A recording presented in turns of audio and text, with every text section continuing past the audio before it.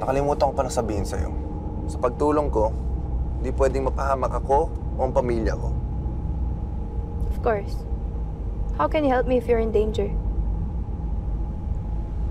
Pilosopo ka. Dapat mag-iingat tayo pareho. Dapat palagi ako kasama sa mga lakad mo. Ako ang pipili kung saan ka titira para alam kong safe ka palagi. BGC? Dapat ako ang batas. Huwag matigas ang ulo.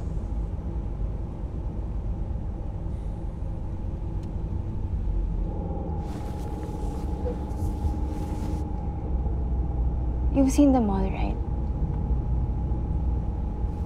My kidnappers.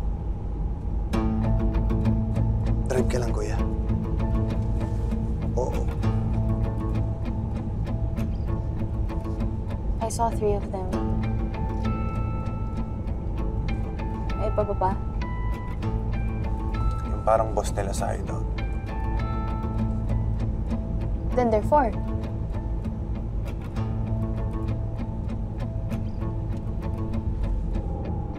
Hindi. Tatlo lang. Tatlo lang yun. Hindi. Three from the yacht and the boss. So that's four. Dalawa lang ata sa yate eh. Parang, parang. No. There were three. I'm sure there were three. Hindi ko lang mamukhaan yung isa.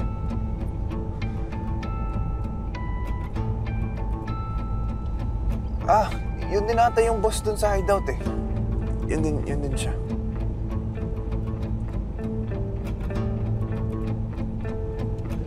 Ma'am, sir. Kailangan ko muna maningil ah. Papagas lang ako. Anak ng panty. 5K? Paano umabot ng ganyan? I had errands. Pinintay pa ako ni Kuya. Errands? Pang tip mo ah.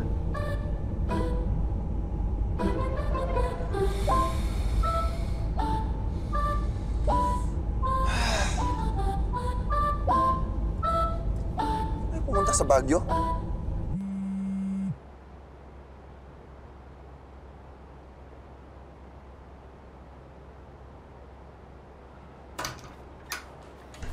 My dear. Para ka nakakita ng magandang ghost. Uh, what brings you here, Ma? Well, I want you to take me out to dinner. Ngayon na ba? Medyo busy ako sa work. This is important. We need to talk. Alright. Did you give Manong tip? Because I made him wait. Ikaw ang bigyan ko ng tip. Magtipid ka. Kasi hindi pera mong ginagastos mo. Masasaid pati puhon ako sa negosyo ko. I know what I'm doing, okay? I studied management. Wala akong pake. Ang realidad, wala kang cash ngayon. Last na yung pagka-taxi mo kanina, magje-jeep ka o maglalakad. But I'll stay in BGC. Oh, ito. BGC. Barangay Bawal Gumastos City. Welcome.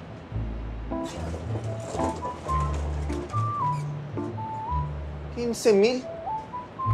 Eh, 8K lang yung paupahan dito sa area na to eh. Mas mahal talaga pag short term lang. Gusto naman eh. For this place to be livable, I would need at least 500. Pesos. 500,000. Talaga bang sa gagagalangin gustong tumira nito? Anong seryosohin niya? May pagkadilulo yan minsan eh. Naku, anak mayaman siguro yan. Dapat tinira mo yan dun sa BGC o kaya dun sa Forbes.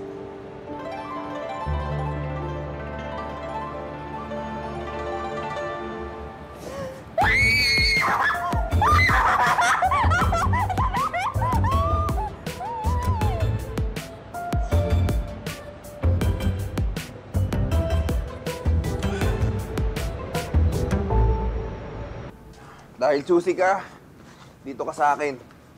2K tong kwarto na to ah. Di pa kasama tubig at kuryente. Masipag kami maglinis dito. Hindi nagtatagal ang daga at ipis dito. Ayun! Ito, yung hinahanap ko. Ang Tagal mo nang sin... Kala ko naman may Tagal ko hinahanap na na eh. Laps na pala. Walang pala. Kung hindi ka sanay, magpasaklolo ka na sa inyo. No.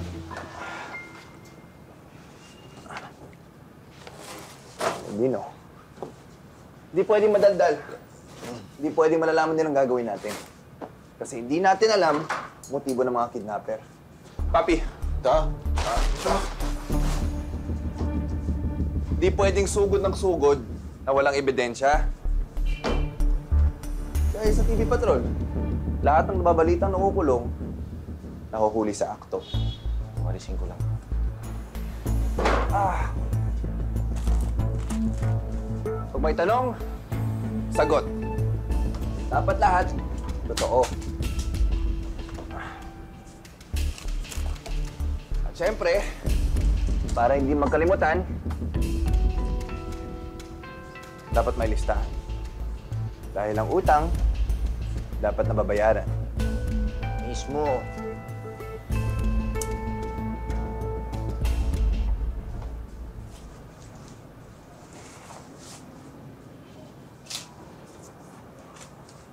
So you're putting this all on me? 4,995 pesos for the taxi fare? I mean, shouldn't you pitch in? Sumakay ka rin naman. Well, I guess if you can't afford it, I understand.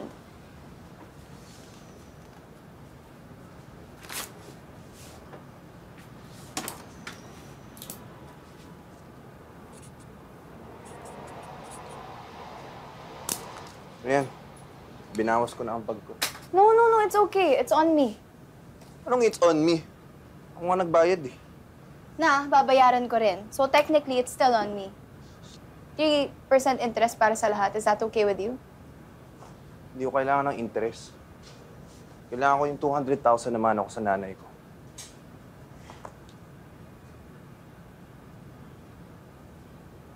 Is she gone?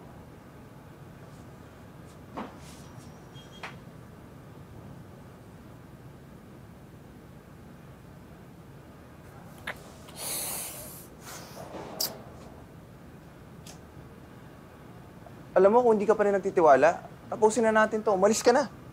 Chill. I was just gonna ask ko nung shampoo niyo dito. Shampoo. Shampoo. Oh, ah, ako bibili, ikaw bibili. Ako na. Just give me 20. 20? Ba? What's that? 20. Pandalawa sasya yan. May sukli ka pa. 20,000. 20,000. Loko pala to eh. Seryoso ka?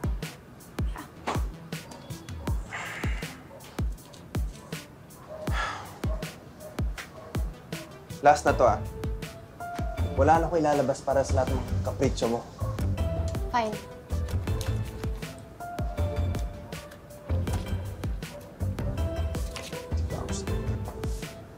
Question. Do you have like a debit or credit card that I can borrow? Just so hindi ka na mahirapan.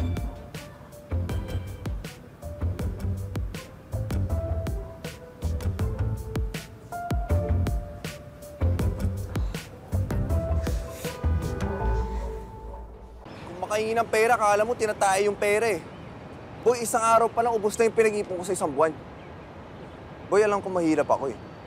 Pero ngayong araw na to, ramdam na ramdam ko talagang mahirap ako. Sino ba kasi may sabi sa'yo yung iuwi mo ulit yun? Kulit mo rin kasi. Ba, nakakalimutan mo. May kinalaman ka rin sa nangyari doon. Muntik lang, pare. Pero umatras nga ako, di ba? Hindi ko nga alam kung sino yung kikidnapin eh.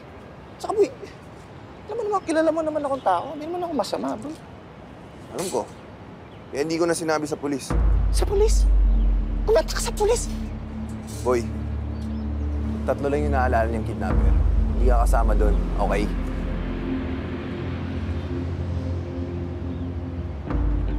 Kaya kung tutulungan ko siya sa mga gusto niya, at walang nanghingi ng ransom, Boy, wala nga nangingi ng ransom kasi nga niligtas mo. Ganun lang yun. Uy, alam mo, dahil sa ginawa mo, mababalikan tayo nun eh. Ikaw, ako, yung pamilya mo. Pero magkaibigan tayo, pero ano, ilalaglag mo ko.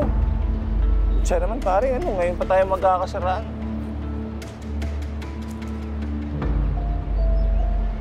Boy, sabihin mo na naman kung pera ako. Na gusto ko maibalik yung 200k ko. Pero hindi lang naman yun eh. Iniwan ng pamilya at kaibigan yung tao.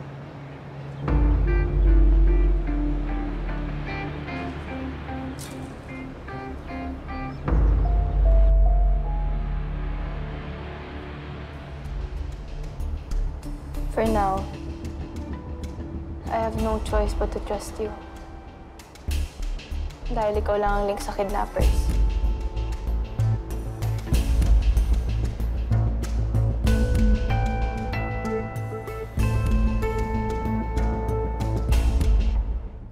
Close your eyes, dry your tears. Cause when